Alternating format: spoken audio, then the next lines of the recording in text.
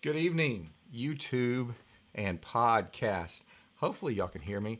I think it, it, sounds a little weird in my headset, so hold on just a second. Okay, it looks like y'all can hear me. Welcome to the Common Grounds Podcast. I'm your host, Chris Greenfield from Roasters Marketplace, and tonight we've got a very special guest. We're going to be interviewing Steph from Coffee by Steph, which is an amazing small batch coffee roaster and cafe located in Grayling, Michigan. We're really excited. I've been talking to Steph for a little while uh, in the green room about different things. She's going to give, hopefully, give us a tour of of her shop and the art gallery and the brewery and everything that they've got going on in her location. Really, really great coffee. Really cool concept she's got going on. This is the actually the first time I've been able to sit down and talk to Steph without having to be outside doing yard work. We've been bouncing around. I talked to her pre-COVID. I think COVID had just started the first time I talked to her, and we've been through this kind of working together, getting her up on our website on roastersmarketplace.com uh, to to share her coffee with everybody. But tonight she's going to share her story about her cafe, about her roastery, and about her little piece of the puzzle that she's got going on there in Grayling, Michigan. So if it's your first time watching us on YouTube or listening to the podcast, make sure you subscribe, give us a like, give us a follow. If you're watching out there right now, go ahead and hop onto YouTube, give us a comment, let us know where you're watching from.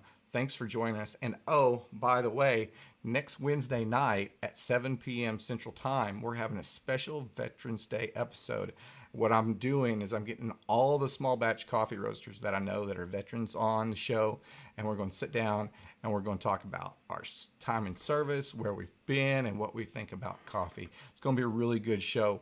I'll I'll do a reminder later on, but thanks for tuning in, and let's roll with a little Dom Cours.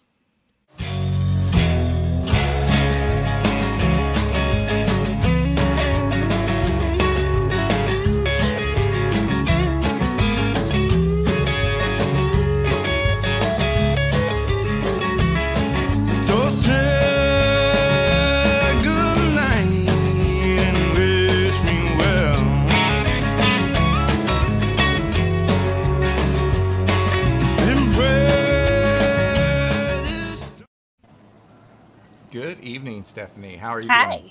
Very good, thanks, Chris. Or Steph, I've already messed it up. Here we go. it's okay. Um, I, I, get tuned into the music and I get I want to listen to more of the song, and then we we jump on uh, and roll it live. So how how's everything going tonight? It's going really well. We've had really beautiful weather the past couple of days, so I've been out trying to enjoy it as much as I can when I get out of the coffee shop and. Uh, definitely have seen more people coming through northern Michigan looking to enjoy it themselves. So where is Grayling in relation to something that like somebody like me from Texas can orientate to in Michigan? Right. So in Michigan, we do everything by, you know, we call it the mitten, where we point to everything, and I'm literally in the middle. Um, and it's on its way up to where the Upper Peninsula is. So, in order for everybody who lives in these through Grayling. So it's actually, I think they call it the gateway to the north. Awesome. I'm having a little bit of audio difficulty, so I'm going to switch okay. over to a different headset. This is why we have backups, people. Yeah.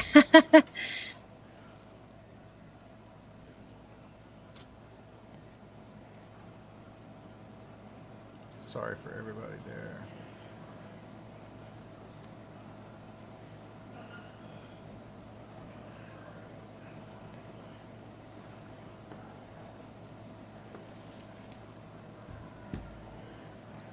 Can you still hear me? I can hear you just fine. Looks like we're going to have to do some editing on this one too. Just give me one second. Sure. All right, now I got you. Can you hear me okay? Yep. Awesome. Awesome. I'm still working it. No problem. My headset was turned way up. So here we go. there we go. Donnie's in the house. We've already got some people viewing, commenting. So, last I heard, you were you're right in the middle of the state. So everybody right. down south has to coming up north goes through. We have a major highway that runs through the middle of the state called 75, and we are right off of that highway as people are getting up into more of the like rural areas. Um, and it is mostly a rural town. We're very seasonal. Um, like, uh, for example, on my street, I have a neighbor next to me that's there year round, like we are, but the rest of the houses on my street are people who it's their second homes. They come up and do snowmobile trips or they come up to go hunting. And um, so it, there's a lot of fluctuation in who's here. And I, I do have regular people who live here that come into my coffee shop, but another big portion of the clientele that I have are people that are driving to somewhere. They may be driving up here, but most of the time they're going somewhere else and they get off the highway to get coffee from me on their way to wherever they're going. Nice. What, yeah. What's your, what's your local population look like? Uh, you know, I don't know that exact number, but I would estimate we're probably somewhere a little over 2,000 people. Oh, wow. Okay. Uh, back in the day when I was growing up, that would have been a large town, but now me, that's that's like a neighborhood down here where we're at. We're you know we're we're just north of Houston, and I liken it. A lot of times you can you can tell people you know we're an hour from Houston, but you're also an hour away from anywhere else, and we're still considered Houston. You know, it, it's, yeah. It's San Antonio's the, the same way. yeah, it's the size of Connecticut. Like you can put Connecticut inside of Houston and still have room left. It's it's absolutely crazy. That's so. How many regular customers do you think you have? Um, you know, I've never even tried to estimate in terms of regulars that come in how many of them there are. There's a huge number. In fact, it, I astonish myself sometimes because I try to remember everybody's name and what their favorite drink is. and sometimes I do better on remembering their drink than I do the name. but um, there are definitely a lot of familiar faces. And then again, like I said, some of them I I may never see them again. They got off the highway and they looked up where coffee was, or they were coming up the highway and looked and got off to come in here. You should just start calling people by their drink names. that could be your that you, you know, good morning latte, good, good, good morning soy latte, be awesome. so how'd you get? How'd you? What did you do before coffee, and how did you get into specialty coffee in a cafe? Um, so it was actually a really long journey from when I first got into coffee versus actually doing it for a living. Um, my career prior to being in specialty coffee um, was with animals. I was a veterinary technician. Um, and I also worked at various horse farms and did a lot of work with horses, um, which was my dream job. And I'm really happy that I got to do it for as long as I got to do it. I always knew that that was a very physical job. And at some point, as I got older, it was going to become too difficult to do it. So I'm actually really happy that I got to do it for the period of time that I did. Um, and then I, I, did have a riding accident in 2015 that uh, is what made me need to switch careers um, because I was no longer able to be up on a horse for eight to 10 hours a day. Um, it's a long so that, time to be on a horse. Yeah, it is a long time to be on a horse. It was a lot of fun, but it's definitely a hard physical job. I think there's a lot more to it than people realize when they think, "Oh, you you work with animals for a living. That's so much fun." It, it is, but it's also a lot of hard labor. um, but I was very happy to come back around because I did have a very strong, intense love of coffee earlier in my life. Um, when I was in college the first time, I, I, was actually studying theology and I was taking ethics classes. And one of my ethics teachers um, thought I might be interested in doing a backpacking trip where they were um, specifically looking at labor conditions um, in Central America. And so we we went down. We went through Nicaragua, Costa Rica, and Panama, and spent time at coffee farms and uh, banana plantations and observing what life was like for them there. And this was in um, would have been 97 to 98. Um, which was quite a while ago, but it was an eye opening experience for me. It was my first time out of the country, and it was also my first time really thinking about where the products that we get at the grocery store come from. Um, and I had not, I had had coffee, but it wasn't like I was really a fan of coffee prior to going down there and learning what they were doing and getting this appreciation um, of this drink that I didn't really think much of prior to it. Um, so it was it was a very eye-opening experience to see what life was like for these coffee farmers and the impact that we as a large consuming nation have on it and then also the influence that we as a consumer can turn around and have on it in both a negative or a positive way depending on how we use it so go ahead oh, I was sorry I interrupted there. The it's so amazing when I got into the specialty coffee and started doing research and, and looking at everything. I was blown away by some of the videos I saw of, you know, men and and women too with these baskets of fertilizer on their back, marching up a, a hillside like this to just put fertilizer out on these plants because there was no other way that that fertilizer was going to get up there.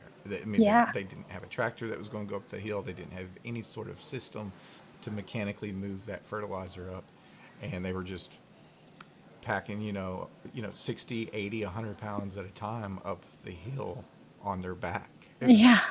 insane for for coffee, something that most Americans take totally for granted. Absolutely, absolutely. I agree with you on that. And like I said, it had been something that, um, like I said, I, I don't, prior to that, I wouldn't say that I was like a coffee fan, really. I mean, I drank coffee if it was offered to me, but I, I also wasn't, I hadn't been introduced to real quality coffee either. Most places where you get that, you're getting grocery store coffee that, you know, you don't know how long that's been there. And it's usually some, overly processed roast. so um, I didn't necessarily have extremely fond associations with coffee, but um, it was an eye opening experience. And then I also started to, because I did visit a couple of uh, farms where they also did their own roasting. And so I got introduced to that whole process. And I think that was the first time that someone talked to me about profiles in a cup and realizing ju- that coffee is not just coffee, that there's all these different varieties and different flavors that you can experience. Um, uh, and I remember for the first time, instead of just grabbing a bag of coffee, one of the places I went that they they had roasted, we tasted many of their coffees, and I selected the one I liked the most and brought it home with me. So that was also eye opening. Do you remember what that was? It was a Costa Rican and it was a medium dark roast, but I could not recall for you anything beyond that. There was a lot of coffee farms that I went to down there. But that's a good a good recall of something that was totally new to you. Yeah. 20, 22 years ago. Yeah, absolutely. So Um, so you did you did your love of coffee stay with you or did it grow or or how did that foster over the years that you were It absolutely did. I I came back, and from that point forward, um, I started, you know, looking at the coffee aisle extremely differently. I started looking for coffee houses. I started paying attention to roasters. Um, I became a little more picky about what coffee I got because I realized, oh, I could really like this instead of just being okay with it. Um, and it was also something that was a bonding point between me and my dad. And I think that's the side of coffee that I really love is that there's uh, community and fondness and memories that are so strongly associated with taste and the various brain cells that we have up there. And so, like, I remember that being something me and my dad had in common when I was in college, that he was very much a coffee drinker. And as I was finding these things, I could come back and share that with him. And so, I have a lot of fond memories of sitting out on the, the front porch and having coffee and conversation. And it definitely at that point became a daily part of my life. awesome? And what's, um, go ahead. what's your favorite brew method? I definitely prefer pour overs, I think, to any other one. And that's, um, I mean, I definitely like the taste of them, but I also love the ritual of making it, the simplicity of it, and sitting there and being able to watch it. And it's, you know, when it's, when it's your first cup of coffee in the morning, it's like a wake up process to do your pour over. Um, other times I find it just relaxing to sit there and to put my intention into that cup of coffee rather than just boiling up or heating up some water and walking away from it. I, I, lo- I love the process, and I've been I've been doing starting to pull shots in the morning now, first thing, and that is a little bit more intensive than uh, of, of a process. So it's I, I wait till I wake up a little bit before I do that. so, For so tell me how you transitioned from in from from what you were doing into roasting and a cafe space. Sure. So when I when I had the horse accident, I actually was living in California, um, which is where I met my uh, boyfriend, and uh, it's as most people know, extremely expensive to live out there. And as I was facing this complete and utter change in careers, we felt that it was probably going to be a lot easier for us to not be living somewhere that was had such a high cost of living because I was living in Napa at the time, which okay, is yeah. a very nice area. Um, so we made the decision to move back here to Michigan because that's where he's from, and it's uh, we're close enough that we can visit his family, his grandparents, his uh, parents live in Port Huron, which is downstate, but it's close enough we can drive. Um, and the cost of living was just much more reasonable here. So I had actually never been to Michigan. I had never been anywhere that it snowed. so this was a big jump for me. But we um, we moved here, and the very first day that I was here, I very much had this like Bay Area lifestyle of having a coffee shop that you regularly use. Um, and I'm sure it's like that in a lot of metro areas. But when you when you live in places like the San Francisco Bay Area, everybody lives in pretty tiny spaces. And so, since you have such a tiny space, you have a coffee shop that is where you meet your friends. It's where you do your business meetings. It's it's where you stop on your way to or from work. It's just kind of a like your living room, since you don't really have one. so, um, that was just my lifestyle was to find a coffee shop that was going to be my coffee shop, and I didn't find that when I got here. Um, instead, I found uh, the brewery that I'm next door to. And uh, I ended up applying for a job with them just to have some income coming in. And so I started working as their wine bartender because coming from Napa, I had a little more experience with wine than most of the people that were working as servers for them. So I got started there. And then it turned out after working for them for a little while, getting to know the owners of the brewery, um, they actually had a coffee roaster back with their brewing equipment and it wasn't being used. And I was like, so what's going on with this? and um, as we got talking, I, I, ended up talking the brewer into showing me how to use his roaster. And um, as he was doing that, I was like, I, you know, I don't really know a lot about coffee roasting, but I'm pretty sure there's more to it than this. so um, I ordered some green coffee and got started playing with it. And um, they went from being a brewery that had a few coffee options you could pick up to we decided to full on add in a coffee shop. And this was actually at a different location than we're currently in. Um, because they did have two locations as a brewery, and then now with all of the stuff that's been going on with COVID, it's just one location. Um, but I moved my coffee shop right next door to them, so we're still closely linked and connected, um, although we're separate businesses. So, but that's kind of how I got into it. So tell us, tell the listeners about the space that you're in right now. So I am in a rather large, almost warehouse type space that is an art gallery and then my coffee shop, and then it goes into a microbrewery. Um, so there's all different kinds of atmospheres here, depending on what type time of day you come in. Um, I very much have it set up as a coffee shop vibe in the mornings.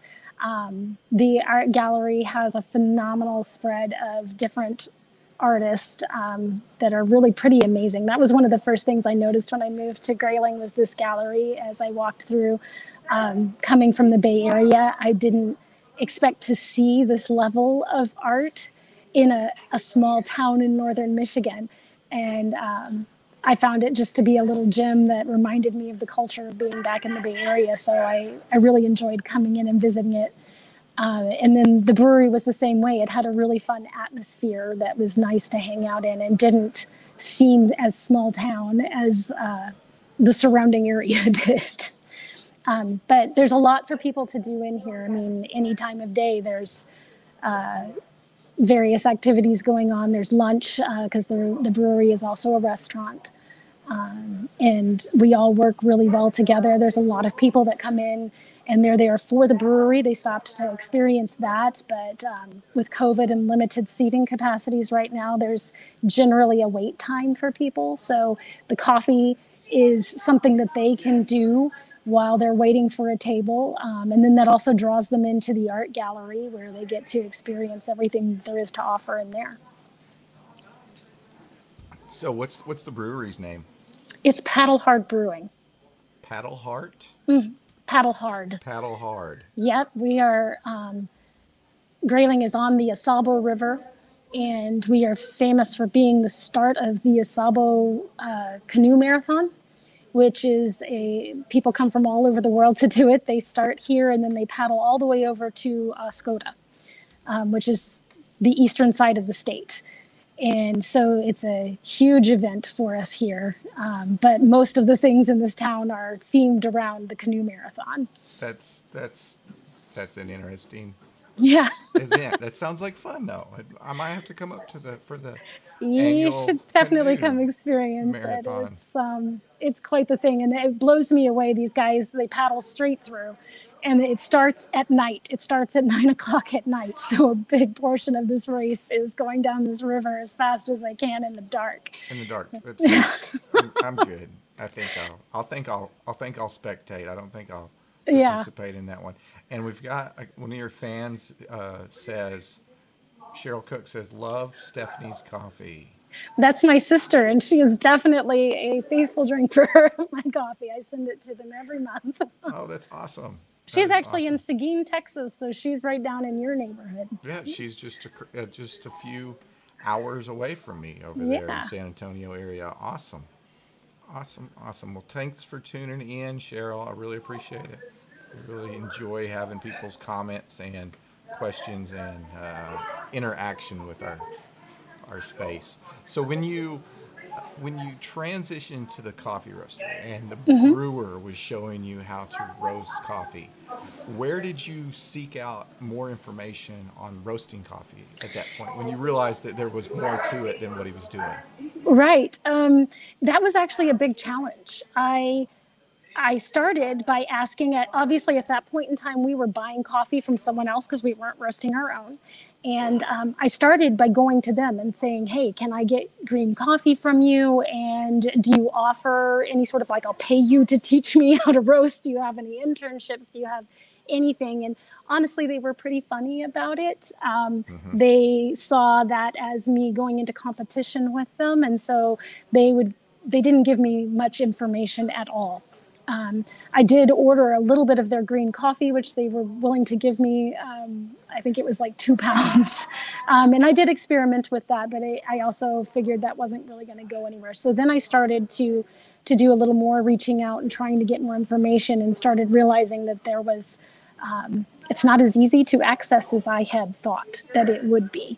Um, there's a few good books out there. Um, the Coffee Roaster's Companion by Scott is definitely one I recommend to anybody that's getting into roasting. Take a look at because the science behind it is really a tool that will help you be able to make the coffee what you want it to be as opposed to just experimenting and trying to find something so i definitely recommend books like that and there are a few books out there um, the other thing that i would say um, was my one of my big eye-opening moments i went to um, new york for coffee fest and i attended several workshops that were specifically on coffee roasting and while those were brief i was introduced to a lot of concepts that I was then able to come home and do more specific research on. And I think that's where I really started to develop.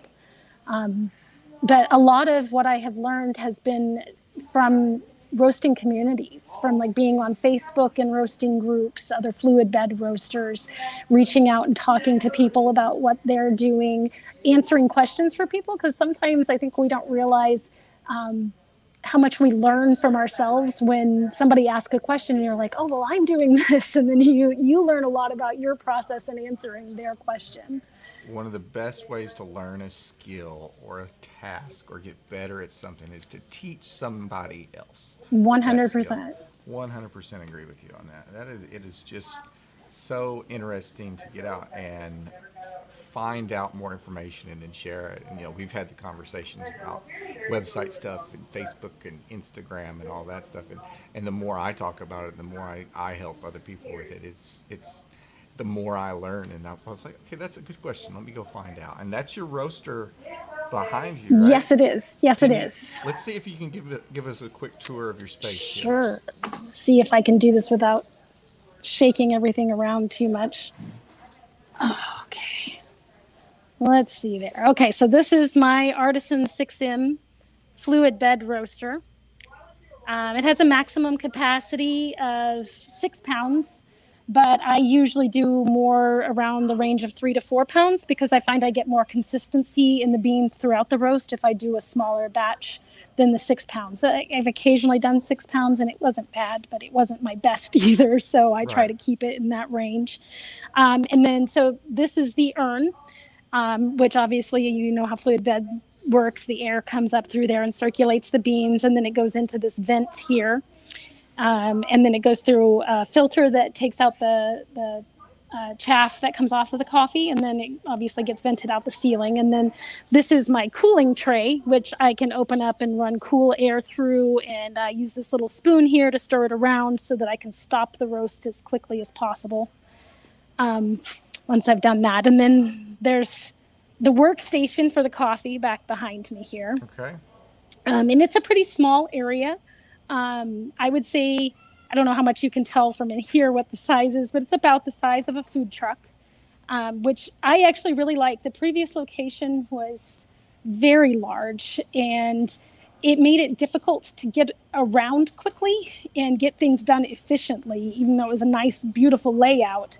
Um, this one being smaller makes uh, making the coffee and getting it out faster much more efficiently. And what what sort of espresso machine do you have down there? That is a Rancilio Epoca 2 group. Awesome. And then I have a Mazzer Super Jolly um, grinder right there next to that. I'm going to walk a little bit further in here. You'll have to excuse, I've got my retail products back in here because right now the coffee shop's closed and the bar is still open. So I move things back in here. Um, but it comes over here. And then I have my little Bunn coffee brewer and my grinder for the coffee that I sell, which um, my beans are all put out whole bean and ground at the customer's request. So some of them want to take it whole bean, which of course is what I encourage them to do. And then if they want it ground, I go ahead and do that right at that time for them. Um, and then my cash cash register behind that. And then you can kind of see out over in here is the shared space that I have with the brewery for customers to dine in. Okay. Yeah, that's awesome. That's awesome. I love the I love the red. Uh, I love the the color coordinated theme that you've got with everything with the roaster and the fridge and the, the espresso machine. Good job. Yeah, really no, that was a lot of fun. And I actually didn't obviously pick the roaster because he already had the roaster at the brewery, but it was such fun in terms of colors that I just decided to to run with that. Yeah, no, it looks awesome. So, and then on my other side out here, we come around and it goes into the art gallery. So you can kind of see, get an example. I mean, it's a huge space over here. Um, and back here in the very back, that is a stage. Um, and prior to COVID, we had quite a bit of live music on that stage. Um, there's comedy shows that happen on that stage. I don't know if you can see here, there's what looks like art palettes up here on the ceiling. Those are actually tables that we pull down and we insert them in these little holes in the floor. And this whole area becomes a seating area when we convert it into the stage. And Well, then cool. it goes on over, like the gallery keeps going. There's so many talented artists in here. It's amazing. I could spend all day there just drinking, Yeah. drinking coffee and move right to the brewery. It's perfect. And Exactly. And I do have to quite a few people who come in and they set up their laptop and they have their coffee and they get going on things and then they switch over to having drinks from the brewery when they get their work done. That's perfect. And Yeah. you roast.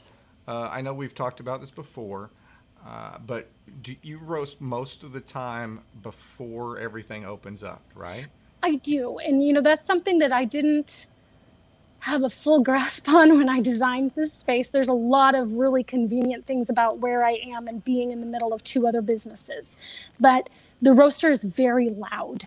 Um, so I, I didn't really, I think, fully anticipate just how loud it was going to be and how disruptive it would be to the other businesses. So instead of just having to work around my coffee shop hours, I had to work around their hours.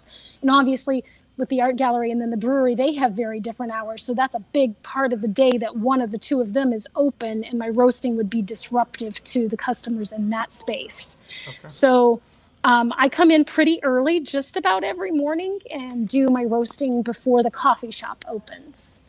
Um, there is one night right now, just because things are slow. Uh, the brewery is closed on Wednesdays, so on Wednesday nights I can come in and roast when uh, the art gallery closes, which is at five o'clock.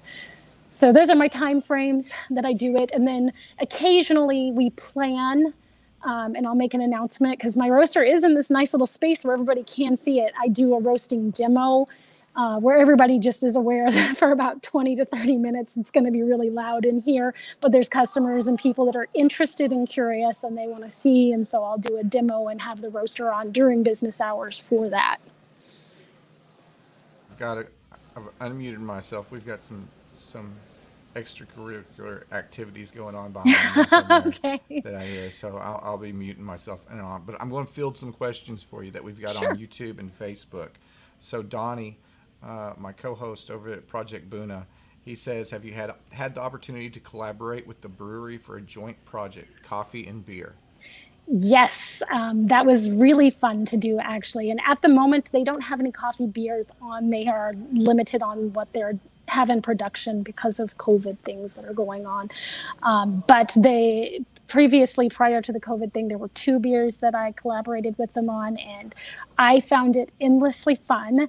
Um, to not just put my coffee into a beer, but to find the right coffee to accent what was going on in that beer. Um, both of them had been brewed with coffee previously. So we had this like standard of what they were doing, and they weren't bad beers. But when we, when I made adjustments to accent for certain flavors and chose coffee in that way, it just upped the quality of the beers immensely. So it was a lot of fun to do that project, and I definitely look forward to working on that sort of thing again. Put me down for a sixer. Okay. When when you do it again, because I'm, I, I'm a. That was kind of like my first complicated love of food or of something else was was beer, and that is, I, I love trying different ones and and tasting.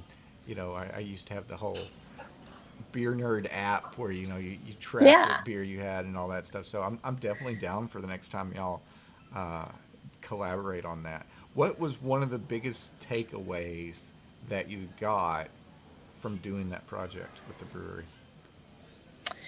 Um, you know, I, am not sure whether I took away more in terms of knowledge about pairing things or I, also experimenting in terms of brew time, because that was another thing that was a, quite a project. Because I, I think we started putting it in at one point during the brew process and it came out really, really, really strong. So then we had to go back. And um, at another point, we actually ended up, instead of putting the coffee in ahead of time, we ended up doing a, most of the brewing process and then adding cold brew to it, which worked out better in that particular case. Um, so it was fun to experiment and learn about the how the coffee interacted with the brewing process. But I think mostly it took away that I just really love doing this sort of thing with coffee. I love finding those flavors. I love pairing. Um, anything. I mean, honestly, I had fun when I worked for the brewery uh, doing their wine stuff. I had fun helping people find the right wine to go with their meal. Um, because it's just a fun side of things that I, I used to do for myself, but I didn't really realize until I got into it how much I enjoyed it. That's awesome. So we got another question here. Sure. from Everything Coffee by Thomas. He says, "What make and model of coffee roaster is being used?" Sure, it's an Artisan 6M by Coffee Crafters. Awesome, and that's the one that the brewery had prior to you taking over.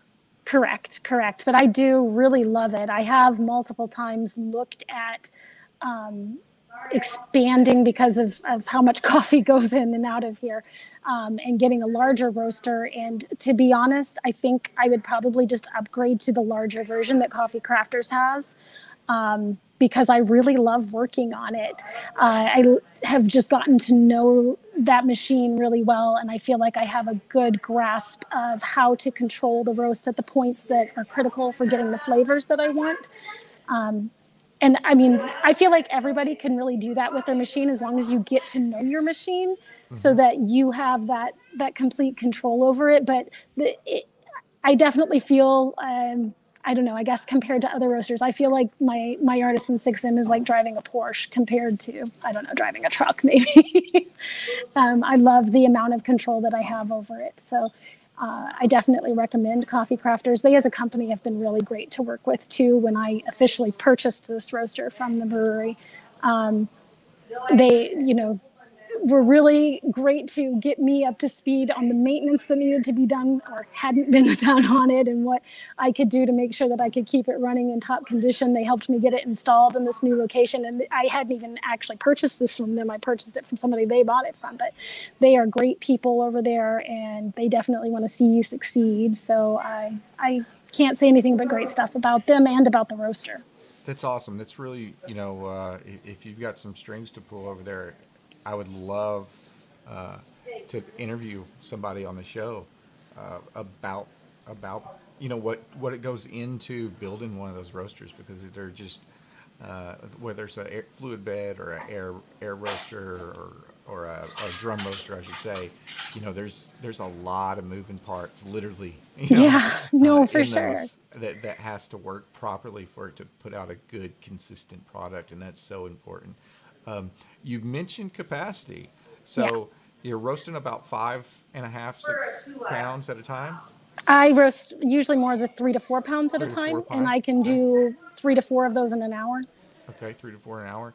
And so, what's your coffee capacity currently at the cafe? Like, what are you going through oh, on a busy week? A lot. That's um, where I'm um, like, yes. yeah, I go through a lot of coffee. Um, it's I didn't really know what to expect with COVID this year. I thought that things would be different, but I actually ended up going through probably twice the amount of coffee that I was going through at the previous location. And uh, I think some of that had to do with the fact that the way that Michigan opened back up through COVID. Uh, not all counties and areas were fully open, and we were. So, because we were a rural area and we didn't have a high number of cases. And so, people from all over were coming here because of the fact that we were open. Um, but I, I regularly go through at least anywhere from 10 to 20 pounds a day on espresso alone. And then I'm selling the bags of coffee, I'm shipping them out for subscription orders. So, um, I'm trying to tally all of that up in my head. I mean, but I probably, during our busier months in the summer, I'm going through at least 100 pounds of coffee a week. That's awesome. Yeah. It's fantastic. What is your and this is something I just I just thought of as we were talking and, and it was that squirrel moment. What is your follow up on that that customer that comes in, loves your coffee, and how do you approach them about buying your coffee online? Do you have an email sign up? Do you do you have any information capture stuff there? Yes, I do. Okay. Um, so I have a rewards program. I use Tap Mango, which is a company I also highly recommend. Um, they are also re- what runs my online ordering system.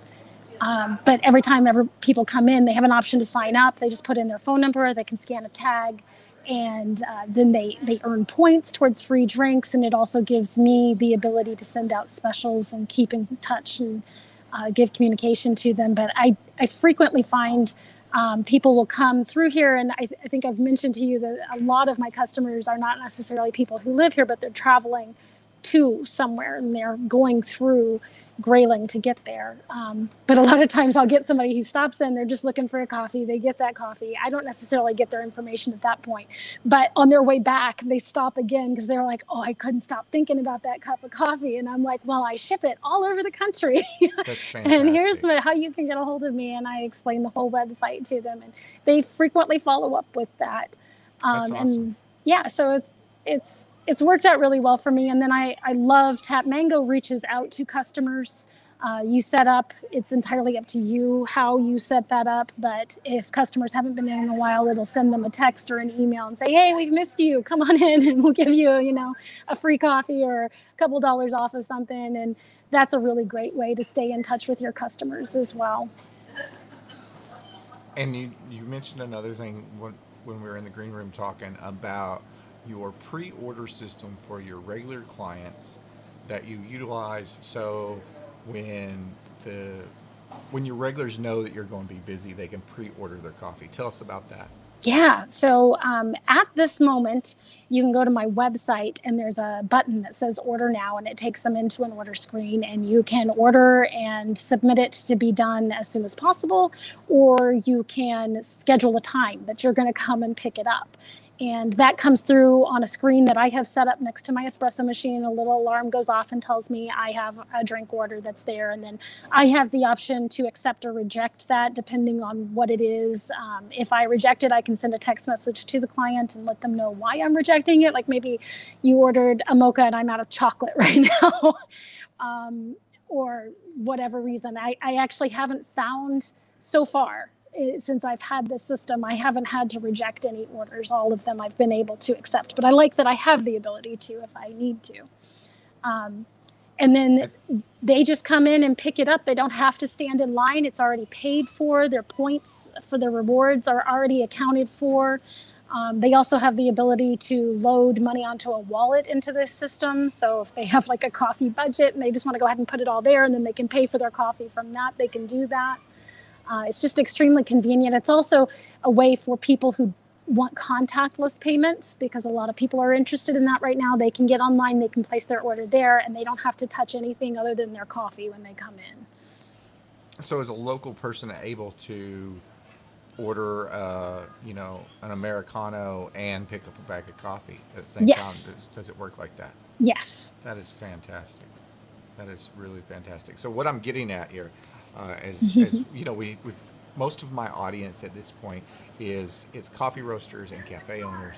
Is that this is a really awesome way for somebody to take uh, and you and you kind of kind of stumbled into it to be able to if a coffee roaster's out there and he's needing a space or or she's needing a space something like this is a is a phenomenal idea to get in to keep your overhead somewhat down. Yes, I I agree with you 100% on that, Chris, because it has benefited me in a massive way. In fact, I know when uh, I was at the other location and the brewery decided they were going to pull out of there, um, I actually talked to the owner about taking over that building. And when I looked at what the overhead cost was, I just felt like it was a little too much for my little coffee shop. And so that's the reason I made the decision to come down here. And the art gallery had actually approached me when they knew that that building was changing and everything and said, Hey, we'd love to have you come in here. And then surprisingly enough, I had several other businesses that talked to me about coming into their location as well, I think because they saw the benefit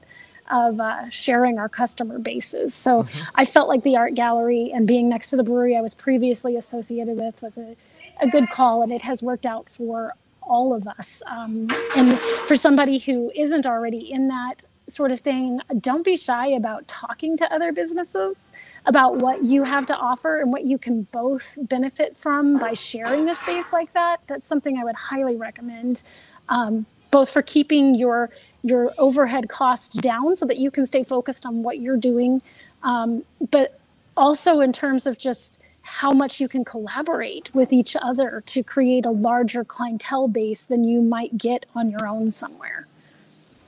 It's all about collaboration. I'm a big yeah. fan. I'm a big fan of everybody working together to provide customers, you know, the best coffee that they can possibly get. Yeah. That's really cool that that space that you're in. What type of lessons have you learned in that co-shared space besides that you can't roast I can't roast, yeah, whenever I want to.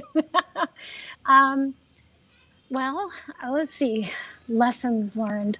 Um, I definitely have to uh, keep myself focused. I have uh, learned from being, uh, you know, at the other location, most of the time our shifts, we were in there on our own, and I was able to get a lot of work done. And here, first of all, I rarely have downtime like I did at the other location. So there's not as much time to be getting things done during an open shift. But I also have a tendency to talk to more people, which is both good and not so good on my schedule in terms of getting things done during opening hours. Um, so that's a lesson that I had to learn to really schedule and keep myself on track during the day to make sure that I was getting everything done that I needed to. So I didn't end up staying, you know, four or five hours past closing so that I could get my work all done, my cleaning all done because I was chatting with so many people in the art gallery or in the brewery. Um, but again, that's also good for business because I definitely have had a lot more business come through here. So it's a like win or lose. I would just say it's a matter of knowing that you have to really manage your time um, to be able to fit into a busy space like that and still get everything that you need to have done. Um, you know, especially in the COVID 19 time that we're at and the disconnected that disconnected avenues of approach that we have and just everything's separate. Being able to connect with somebody like that in a personal space is you know somebody might be just coming in to buy coffee because they get engaged with you you know? I mean 100% just that atmosphere that engagement uh, you know I, since i'm e-commerce based in, in every, pretty much everything i do it's such a challenge to engage with people. And you know sometimes you get people that are just absolutely amazed that you you reached out and contacted them back through Facebook or or through email or stuff like that and being yeah. able to do it face by face to face but six feet apart is, is such an awesome thing to be able to still do. Uh, and we, we've got a comment here. Everything coffee by thomas says that's a nice roaster Many would say it is too small, but I've done 2,000 pound orders on a six pound roaster. That sounds like a lot of coffee being roasted. It is a lot, but it can be done. six um, pounds at a time. yeah. So, what is your favorite? I, I, got in the discussion with Jen last week about uh, Ethiopian Wush Wush. What is your current favorite coffee that you've got? Oh, goodness. That's really hard to choose. Um, to be honest with you, I think I think my favorite favorite right now is the Colombian Steel Magnolias, which is the one that I, I sent to you last. Mm-hmm. Um, I love the richness of the flavor in that one. Um, I, I don't think I've had, of all the people that have tried my coffees, I don't think I've had anyone dislike that one yet. Um, and I definitely find myself just, that's the one that goes in the air pot first because that's what I want to have as my coffee in the morning. that is um, what what we sent out for the dark roast subscription here a couple weeks ago. Yes. And yes. When I opened the bag, that it stopped my wife halfway through the kitchen. She stopped and her head turned around. What is that? So that's Colombian coffee from Steph. I'll have that. Okay. Yeah, it, it it's really, pretty really, good. Really good. And and it was one of those coffees that if you looked it up in the if you looked up coffee in the dictionary, there should be a picture yeah. that label. It's really really good classic coffee. It is. Good and job. then i have a i have a, a limited edition one that i'm doing right now that's a tanzanian peaberry that one's not even up on my website. It's one that i just have in here in the shop because i was playing around with it. Um, i may bring it in and put it up on the website as a limited run one but it's definitely um, it's an acquired taste. That one it's really good if you have that acquired taste. I had always read that tanzanian coffees have wine notes to them. And I found that interesting. I had never had coffee that had wine flavors in it. So I was just super intrigued. And um, when I saw it available as a green coffee, I was like, I, I got to get my hands on this and see what I can do with it. The first time I took a sip of it, I was expecting coffee flavor with some wine hints in there. And it, it was like I was drinking hot wine. so that was a little, I was a little taken aback by it. Not that I didn't like those flavors, it just wasn't what I was expecting. And your mind has this like setup of this is what this should taste like. And when it's different, it doesn't quite know how to wrap around it. Yeah, uh, I'm a big fan of it, uh, of a, well, of a Tanzanian peaberry uh, cold brew. Yeah. Yeah, with actually, uh, I, I tried it a couple times this summer with a couple slices of lemon in it, like you would a tea and over ice, and it is it is spectacular. I can, get, yeah, I can see that, works. and I I actually have been brewing it up quite frequently, and I've got a, a few customers that specifically ask for it. They think it's the best one out there. Um, I always have something else brewed up along with it, just because I know it's not going to be everybody's cup of tea. If you like those flavors. Um, then you're going to like it a lot. And I, I did also find too that that first taste that I had of it, it was at about the 24 hour point because I had roasted it the day before. I let it rest for 24 hours, and that was pretty intense. Um, by the time I got a couple days later, had let it mellow a little bit. I actually really enjoyed that a lot more. So, what's your setup look like on menu wise? So, you typically have one or two options on the brewed coffee and then the, the espresso setup? Correct. I have um, all of my espresso drinks that are up there, uh, which is a pretty huge selection of various espresso drinks I can do. And then um, on the weekdays, I usually only have one or two that I've pre brewed up. Um, on the weekends, it's a much bigger selection of it because I have a lot more people coming through.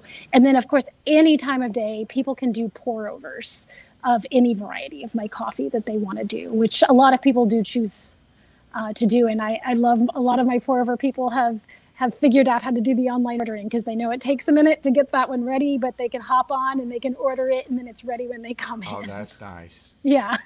that's that's that's really nice. And with with the wide variety of coffees that you have, you have an espresso blend that you that you do.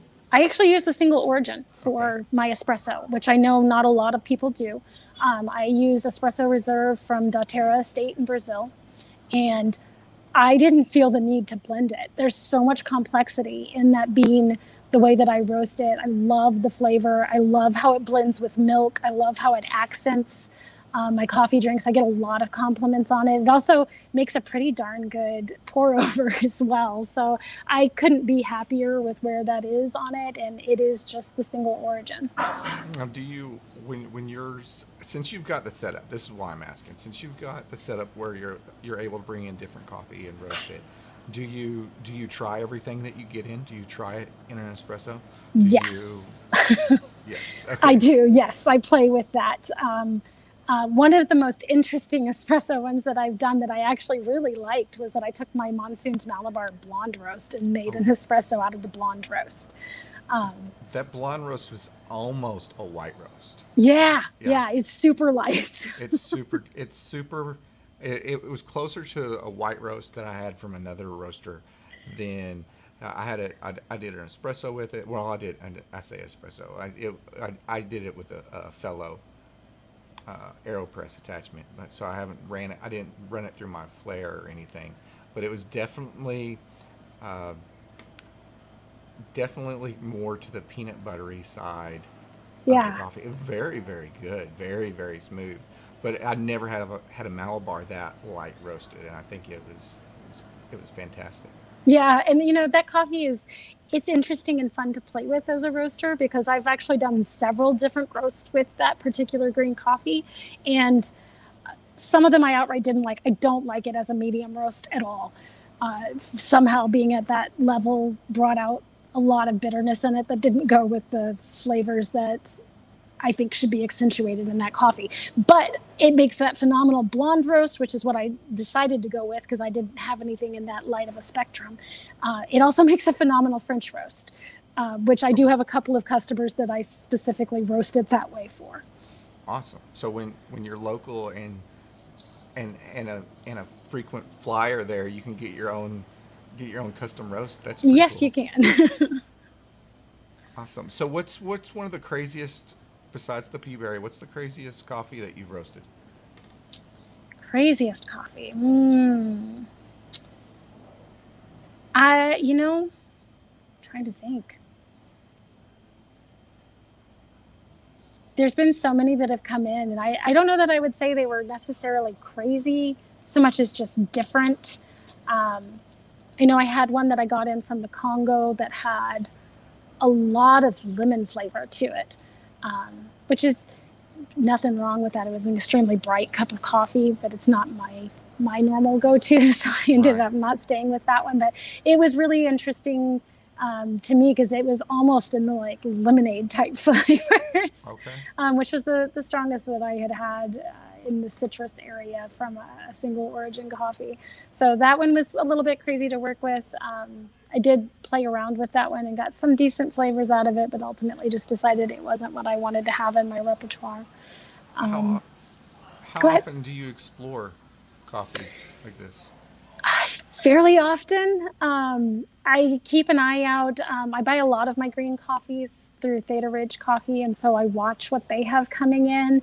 I also pay attention to Daterra estates and their auctions because I, I, find it extremely fascinating what they do there with their coffee research. And uh, they have lots that come out that are only available that one time. And then there's their ones that are their standards. And um, so I like to watch and see. And anytime something catches my eye for either the flavor profile or because I'm interested in the story behind what's going on with that coffee, I'll bring it in. And that's something that I think is almost as important to me as having a really good flavor. An interesting, unique flavor in the coffee is the story that I can tell my customers all the way from where it was grown uh, and processed to coming to this country to being roasted by me to being served in their cup. Um, so there's been quite a few that I've brought in just simply because I found the story interesting. That's how I came across the Steel Magnolias, actually, because they are a collective of women that grow that coffee. And I loved the story behind how those women got together and started this coffee farm. And I, I wanted to see what they had to offer. And then I was obviously extremely pleased with the coffee that came coffee. as well. Exactly. Um, I have another one that's from Honduras that is a similar story. It's a, a, woman that used to be a pharmacist and then she got into growing coffee. And uh, I brought that one in and again was just outrageously pleased. In fact, she actually has several varieties of coffee and I'm planning on playing with more of hers because I was so impressed with the red honey. The Finca Deborah? Yes, yes.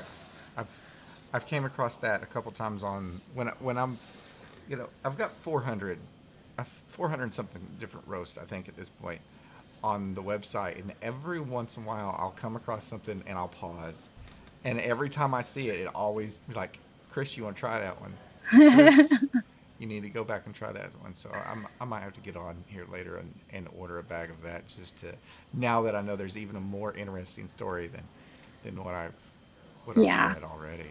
Yeah, no, just, I love the community that coffee is because it really is this connecting thing that runs not just between us and our customers but globally and telling people the story of where it came from and how this cup ended up there is i just think a hugely connecting thing that's important for people to experience. It's it's really cool to get on and i'll show you next week after we get some stats from the the, the video all the different countries that either download the, the podcast or watch on YouTube.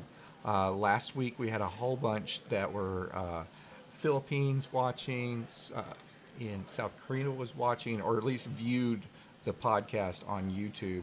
And then you know I, have got my I, I, like one of the top 50 coffee podcasts in Europe at this point. Apparently, there's not wow. that many, so it's kind of cool to be you know number number 15 in Norway when it comes to small business podcasts because I've got a small following over there. So it it does connect. it does. It connects us all around the globe with something that's, you know, really really delicious. In yeah, instances. it's a common language, really.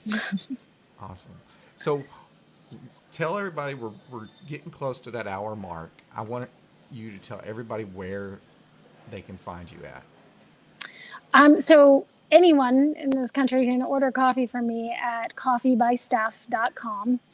Um, super easy to get on there. You can see everything that I've got at the moment. I've also got a blog that I do, which I have to admit I have not been as uh, good about entering lately, uh, just because since opening the coffee shop here and being the sole person in here, and I wasn't sure what was going on with COVID, so I didn't want to hire anybody yet. Um, that's taken up a lot more of my time uh, than I used to have. So at some point here, I'll get back to really entering my blog entries um, and talking about what I'm doing with coffee and why and my theories on roasting and buying green coffee um, for whoever wants to learn that information. Um, but there's a lot on my website and uh, yeah you can order any of the coffees there i'll ship wherever you can also uh, email me steph at coffeebysteph.com i have some people that uh, for whatever reason aren't as comfortable navigating the website and you can just let me know what you want and I'll send an invoice over to you and we'll get it out. It does happen. And, and you can find your coffee as well on Roasters Marketplace. Yep. And at your cafe. Yes, yes. Awesome. I really appreciate you coming on the show tonight, taking a few minutes uh, to talk to our audience out there. Steph, I, I really, uh, I can't say enough about how happy I was to connect with you back – uh, in the springtime when all of this started, and then to finally connect back with you again this summer to finally get your, your products up on the website and to uh, kind of come full circle and get you on the podcast because I, I just loved hearing about the cafe and the space that you were operating in. And I think it'll help a lot of people that might be a lot of coffee roasters or cafe owners that are in this weird time or a transitional space where you know it's a good idea to find a shared Yeah. a shared space that you can roast in and serve coffee. Yeah, absolutely. And again, don't be shy about it because it's going to benefit the people that you're sharing that space with just as much as it's going to benefit you. Um, I, I can't say that enough. It, it helps all of us. Definitely. Okay, don't go anywhere. I'm going to drop Okay. you down in the green room and I'm going to sign off here. All right. Thank you. All right, everybody. Thanks for tuning in, listening down the road. If you're tuning into the podcast, make sure you give us a five star review over on Apple, or you can give us a one star. One star is cool too if you're listening. Uh, go ahead and like, subscribe, follow, share the podcast. We're actually going to be putting the podcast link in the comments to the show first thing in the morning. That way I can catch this YouTube algorithm that keeps on showing my show to everybody on Mondays. But anyway, tune in next week. Special show, Veterans Edition. I'll be sitting down with Donnie and the boys from uh, Project Buna. We've got Doug coming on from Fuzzy Monkey. I've got uh, Juan, or Jose coming from uh, Third Day Coffee Seguin. We got a whole list of veterans that are going to be on the show next week talking about our shared experience as veterans and our current shared experience in the coffee space. So we really appreciate you listening. Tune in next week. Download the podcast. Really appreciate your support. We should break 2,000 downloads in like the next 48 hours, I think. So cross your fingers. Cheers. Have a great night.